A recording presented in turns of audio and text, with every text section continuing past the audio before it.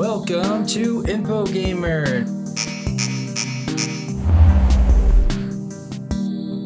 Just in case you forgot, my name's Nathan, My name's Mark. and today we're going to be showing you how to create another prefab, and this prefab is for the standard platform that we will be using in our game. Now in Doodle Jump there's many platforms. There's ones that move and there's ones that break when you jump on them. This one's just going to be the default platform that's stationary and doesn't break or anything. And then in future videos we'll show you how to make the platforms that move. And prefabs are important, so let's get started. We're now going to show you how to create the platform, and this is the prefab for the standard platform in our game. So we will start by creating a sprite. We'll go to Game Object, 2D Object, and Sprite.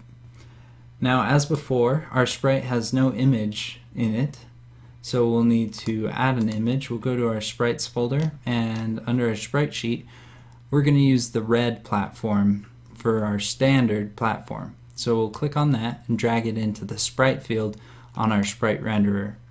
Now we'll need to scale it down so it's the right size and to do this we're going to grab our box dude prefab, drag them out there so we can get the platform to the right proportions as our box dude.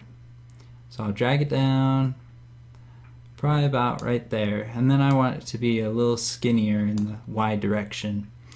So I feel like that's good. Now we're going to add some physics to it. So we'll click on add component, 2D physics, and box collider.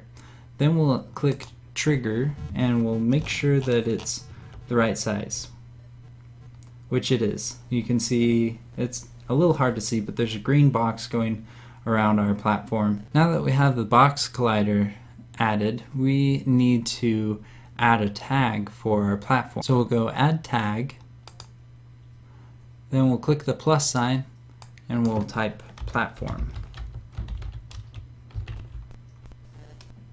Now we'll go back to our platform and select platform in our tag drop down menu. Now we'll just rename our platform. We'll call it platform 1. Now we will drag it into our prefabs folder. So you can see that we have our box dude in our prefabs folder and our platform. Now we can delete our box dude prefab from our scene.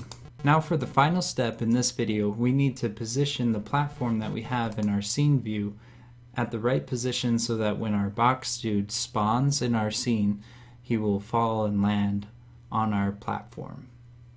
So we can click on our spawn point and we see that it's below our platform. So we want to make sure that our platform is positioned below the spawn point because gravity will pull our box dude downward into our platform. So now I'll hit play and you'll see that the box dude will kind of phase through our platform.